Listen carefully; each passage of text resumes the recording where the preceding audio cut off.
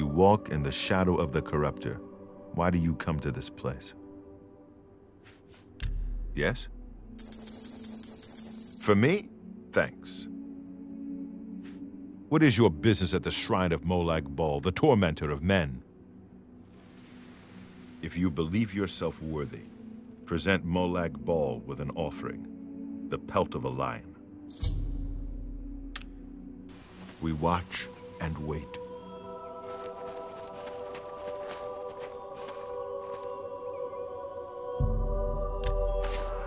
Mortal come to do my bidding. I only wish suffering and death. You will bring me both. I want to see a man brought to the edge and pushed. Near Brindlehelm, you will find Melus Petilius, a good man, an honorable man. He disgusts me. You will let him kill you with this, the cursed mace. As you are doing this for me, I'll save your miserable life. Probably. Get out of my sight.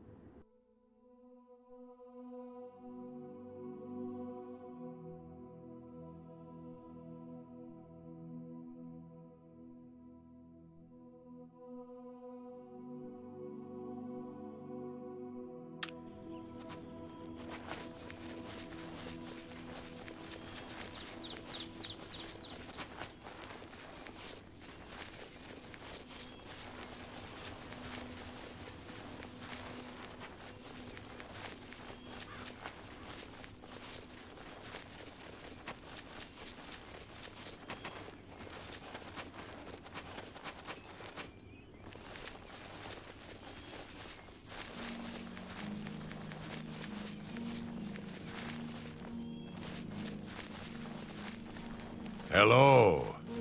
What's new with you? There are rumors that the... What? We'll see. Every little bit helps. I know of the poor man. Did wonders for folks around here. There was no job too small for him. Killed off hordes of goblins when they attacked the town. Killed off a nest of minotaurs single-handedly. That's all in the past now, though. Since his wife, Vena, died, we haven't seen hide nor hair of the man. Gone off by himself. She was a good woman, and Melus loved her as best he could. He was all fighting when she died. A sudden fever, and she was gone. Don't think he ever forgave himself for not being there when she passed. He swore then never to raise a weapon again. He lives alone now, moved into a cabin not far outside of town. It's near where he buried Vena. I understand he visits her grave every day. Take care. The Nords have always been.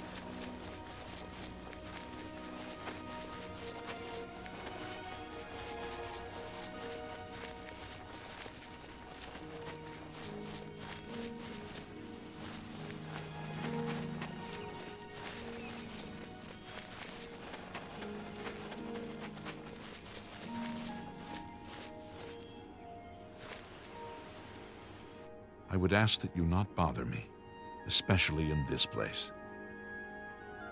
I am Melus Petilius. Leave me in peace to mourn my wife, Vena. She was my wife, and I would rather not speak of her now.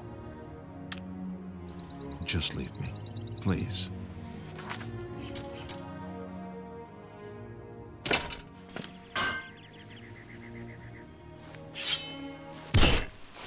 I have sworn not to raise a weapon in anger, but you have offended my honor in this most holy place. Prepare to die, devil!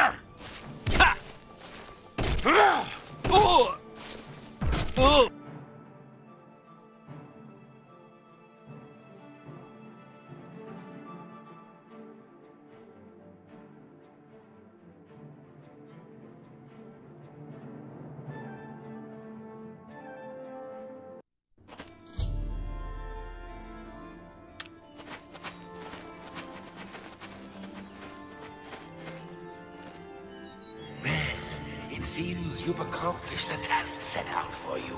Well done. Another man damned, another ruined soul. But you'll still get your prize, won't you? I think it was worth it, don't you? Keep up the good work, little mortal.